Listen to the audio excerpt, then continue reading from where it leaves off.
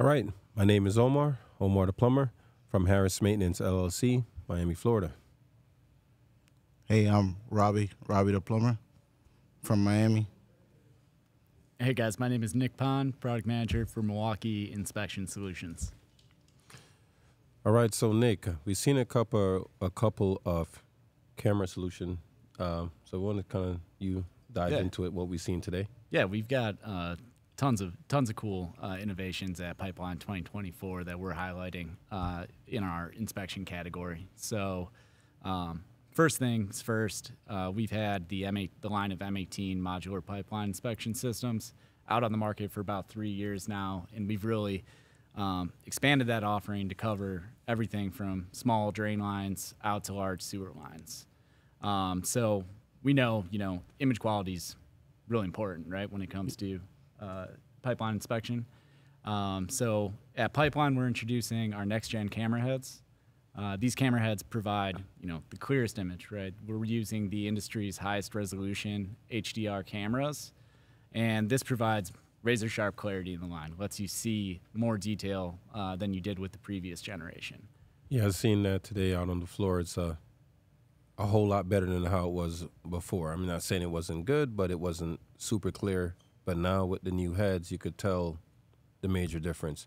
Now, what had what made you guys come up with that? With from us? Yeah, people saying that they don't have the clearest image ever, or? You know we we promise the clearest image and year over year we have to continue to evaluate if we're living up to that. Um, so you know 1080p uh, cameras when we launched were, were great. They provided good quality uh, imaging uh, but we got to stay up to date. So we um, kind of leveled up our our image sensors um, just to help you guys we know image quality means a lot to you we know that you demand the best technology so it's just looking at it year over year. How do we continue to improve uh, in order to make you guys most productive? okay, so the camera heads that you guys have now, they're just easy to come off. Comes with uh, take it off, put it on, so everyone knows like it's not going to be. They have to turn bring in their camera to a facility to get maintenance. They could do it themselves. Yeah, that, that's an awesome point. We made it super simple um, from the get go. Because other competitors, you have to. You're you, you're out of a camera for a minute. yeah, Yeah. yeah, yeah, like at least thir- two, maybe a month or a month and a half. But with this idea, it's just taking off the head, putting you in this upgraded. Yep. Yeah. So so all of our cameras starting July 8th will ship with the new camera heads. But anybody that out there that has a camera head, uh, it's as simple as unscrewing that from the end, screwing on your new one, uh, and then upgrading your firmware. And now you have the most uh, advanced next gen camera heads on the market. So one thing on the firmware now, it's like a USB you're going to be putting inside of your hub to upgrade, Yep. right? Yep. How long does that normally take? Oh, that takes just under a minute. Under a minute. So it's pretty simple with that camera head. If you want to upgrade, screw on the camera head, insert the USB. Uh, you're going to go to the settings on either the app or on your monitor, and then install that firmware. It takes a minute, and you'll be up and running. And you also have another upgrade, which I've been waiting for for a minute, is the the screen. Now that if you're on if you're doing a camera inspection on a roof or even on ground on floor level and it's a lot of sun, sometimes you had that glare. Yeah. I know you guys did something. You can you tell us about that? Yeah, definitely. Um, that's something that we saw. You know, it wasn't just you that was frustrated with that. Um, daylight readability on a monitor is is critical, right? It, it causes some frustrations. We saw that in the field.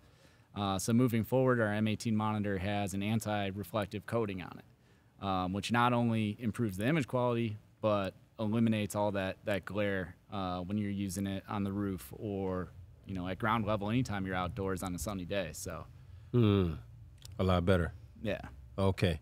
Now, one more thing that I think we all are excited for, guys that do a lot of drain cleaning camera inspections, is that you guys have the that self leveling that's with the camera head. Yeah. Tell us about that. Yeah, definitely. Uh, that is uh, called pitch sensing technology. So what that does is, um, uh, when would pitch sensing be a benefit to you? Um, if you have a, a bad bad pitch in a pipe, a pipe uh, drain line has what uh, belly, belly in it, in a it. bad belly in it. Yeah. Easier to show the customer if they see it, like, hey, your back pitch, you know, you know, Yeah. and you're not catching fall, you know. Yeah, so so exactly that. We give you that uh, indicator on the screen, shows you uh, which way the camera's laying in the pipe, and like you said, that's going to like you guys can spot a bellied pipe uh, with or without that, most likely, right? Yeah. Yeah. But being It- able to explain that to the customer or the homeowner, Yeah, it makes the customer kind of more believe. It's more believable, even if you're in a standing water. Like, Ah, I can't tell. I'm like, yeah, you're in water. You you have a belly, but with uh, with that now on, you could tell when you're fa- when you're falling and when you're not falling. When you're you know going falling up. Yeah. So so same thing. Uh, moving forward, all of the M18 cameras will have that, and then existing users swap out that camera head, upgrade the firmware. Uh, not only do you have HDR, but you have pitch sensing. Okay, so quick question. Don't know if you know. I know this is kind of new. Now, when you're recording, is the pitch sensing going to be visible when you're sending that recording to your sharing it with your customer? Yep. Yeah, Okay. definitely. That Okay. will uh, be overlaid on the recording so that when you share that or you text that or email that to them, however you guys communicate that. It- um, they, they will see it also, and it will be technically the the right the right cor- right top corner. Yep. Yep. You got it. All right, so one more exciting camera. I know you have two of the smaller ones that um, I think are the Ultra. Yeah, we've got uh, two new flexibilities. Mhm. Uh, we got high flex and ultra flex. Flex. Okay. both of these are on our M12 system.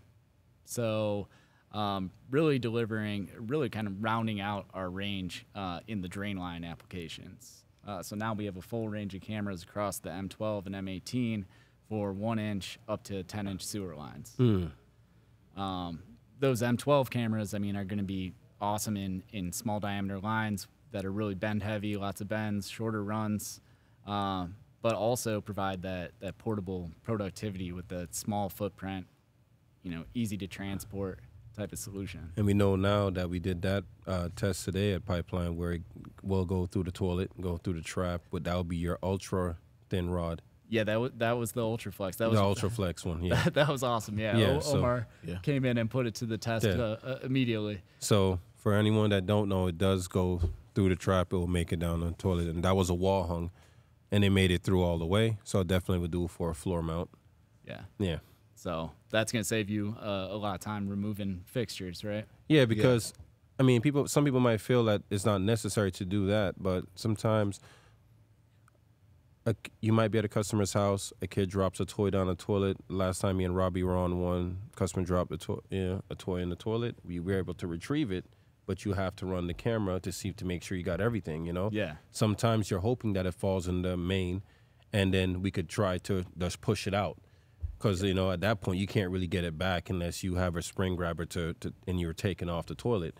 But sometimes you just want to make sure that customer is fully cleared now with this new option of camera that that's going to be awesome. Cool. yeah. Yeah. yeah. And so and also you guys have a pack out one a little bit so We do, a little bit about how's that one? Uh, the pa- the pack out camera is a really unique solution. That's really designed for um, somebody that wants to do uh, just basically a diagnostic inspection. like facility maintenance people maintenance guys that it does for for that facility i'm guessing Exactly. Because I yeah. noticed now the Son that that does not have location. that does not have, have location, location. but it get, does have a distance counter to give you a little bit of an understanding of where Where you're at. where you're at. Um, Kind of gets like straight to the point camera for that guy that's gonna call a plumbing could find hey this is here. Let me call a plumbing company. This is what we have on our camera, and then now we you know Yeah, that that's it. That's what we are going for. Uh, really, that facilities maintenance MRO user who just Mhm. needs to get a look inside the line and understand understand what's going on. okay Um, and then delivering it on the pack out system uh, is is really a nice benefit there, right? and Like, locking in. yeah, locking into the, your rolling pack out so you can take that on and off the job really easily, along with all the other tools that you need for the day. So And that one there, you cannot change the lens. That's con- you cannot change the lens on that one. That is like kind of sub like compact. It is what it what it is. Exactly. Yep. Yep. It does have uh, the the built-in uh, fold-up display. So Yeah, I nice- seen when you open it, you could still like take it out. You could still clean and everything like that. But it's like compact, and that's Yeah, yeah, it's it's instant setup. Uh, you know, a lot of a lot of uh, facilities maintenance, for example, you're you're acting in a hurry. There's an emergency.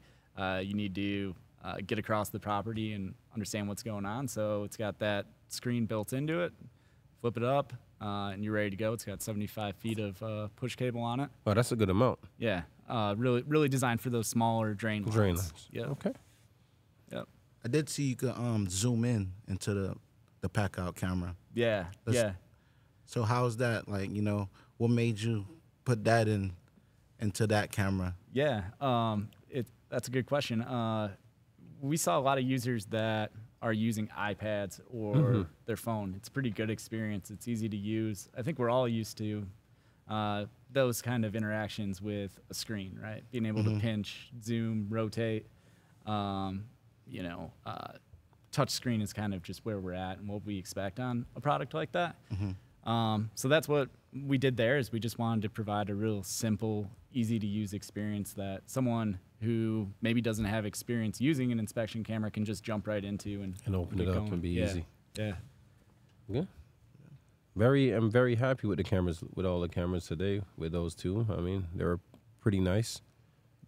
No complaints, and I love that you could add on those new lens now to upgrade. Yeah. And now It's- all the new cameras that are coming out will have that upgrade already, so they don't have to switch out. It's only the older ones that you have to. Exactly. Yep. And and which which cameras are you using today? Um, what we normally use is what 100 and um, 120, 20. Yeah. 200 stiff, st- mid stiff, the mid stiff. The mid stuff. Yep. 200 feet and the 120. That's the main, you know, Yep. especially if we have a long run and we're on the roof, that mid stiff helps because you're losing push. You know, not if you're down, you know, in, in a customer's home, you remove the toilet, you're right there on the floor, so you have that push capability. Yeah, and you were talking to me a little bit earlier when we were looking at the push cable stiffnesses. You made a comment about how you like how uh, how rigid that mid stiff is, and it lets you Yeah. push out. Good yeah, lets you push. Yeah, I, mean, I think we have pushed out before, probably like 175 feet. Yeah. And then, of course, we stop to locate it, clean out, we'll bring it back, and then that where we stop to locate the clean out, open it up, and that's when we start continuing the camera inspection. Okay. You know, you go out that far when you're trying to just find a good area where you could expose and create a clean out if there's not one there. And if, you know, from that point. I don't know how you feel um, the mid stiff when you use it. I, I like it because the pushability. Because some of them you won't get that push, you know. But you know that rod, you get the push and it works for us, especially when we on the roof. Nice. And it bends Especially- up too, yeah. you know, like the other brands too. Like you try to push, and then it's like you can't go no more. That's it. And it's probably It's a like, stopping point. like like one thirty, and we know we could go out a lot more. So the extra thirty feet that really does help a, a yeah. whole lot. At least to get you out of the house into like a grassy area, driveway, wherever you could show the customer, okay, we're here. We could ex- go ahead and start exposing and c- install a clean out. Then we could camera inspect the rest of the, the line going out to the city. Nice. Now you mentioned uh, locating. Are you using the uh, M12 pipeline locator? And Yeah. What, Yes. what do you think about that? It's accurate, Accurate. accurate to the money. But he loves it. It's a lot more user friendly because the other one you have to use like the equator and all of this stuff. This one here, I just tell him like, as long as you get that that that bean, Yeah. just get that that looks like a bean that's right there on the X, then you're good to go. Yeah, Nice. colorful too. I mean, that's um, Another good Yeah. example, being Yeah. able to see it in daylight, right? Yes. Like, yeah. nighttime too. Yeah. I mean, even though the others have that green, I think illuminated backlight, it's still hard to see, and especially in the sun. Yeah. But that one there, mm-mm, good. It's the quality is great. Awesome. Yeah. Let's talk about. Uh, Okay. You mentioned earlier uh, servicing cameras, Mm-hmm. and you said one to two months downtime without a camera. one to two months downtime without a camera. So a lot of the cameras, like if you if you push your head in a broken line and then and you break off the head, you don't have a head on your camera. It's in the drain line, so you bring it back. You gotta send it out to get repair. Yeah. I know, I know. For you, if a head does come off, you could easily screw it back on. Of course, not the whole piece, but Yeah, you can even the spring. If a spring gets uh, snagged in line and gets stretched out, you can unscrew that from the push rod. Mm-hmm. wow, I didn't even. I learned that. I Yeah. didn't know that. I thought Yeah. you had Wow. to ship it out. Yeah. So yeah, we tried to um, do everything that we can to keep it field serviceable. So Mm. right, if you can avoid, we know that's a big headache. Cameras are your moneymaker, right? Yeah. So um, it's uh, we tried to do everything that we could to uh, to make it serviceable in the field. Um, and then, you know, in terms of our factory service centers, we're committed to if you do have to put send it in for uh, re-termination or um, repair the push cable, we're committed to turning that around in in three to four days maximum. So um, just another thing that I, I think Milwaukee's done a good job with uh, the inspection categories, making sure we're solving those frustrations that you guys face on the service side too. So let me ask you this: since all this new stuff, what's next? You think you you guys want to create for a camera? I know you can't speak heavy on it, or it might be a secret, but what's a hint you could give? Yeah. What's next? Yeah, um, I, you know, that's a great question. Um, we're constantly out in the field trying to uh, understand what frustrations are still existing and how do we solve those. Um, I can't necessarily speak right now, but uh, we, you know, They told me you could speak. they said it. See, I- image, s- you i- could go. Go image, ahead. image quality is something that we're constantly chasing, right? Um, I think as as the years go on, everybody's expectation of what good image quality is just continues to grow, right? We've seen it in TVs, phones, things like that. Um, you know, 1080p, 720p might not be uh, the resolution down the line, so I think we're gonna always look at that. Um, but then also, um, you know, just continue to do research and, and be out in the field with you guys. That's where ideas come from. and And those- make it better. yeah, and just make it better. Keep on making it better. Um, but you you know, we've got a philosophy at Milwaukee Tool: never settle, always improving. So and always is disrupting. always disrupt. Yeah, exactly. All right. Exactly. So. Well, you're we're done with Sports Center.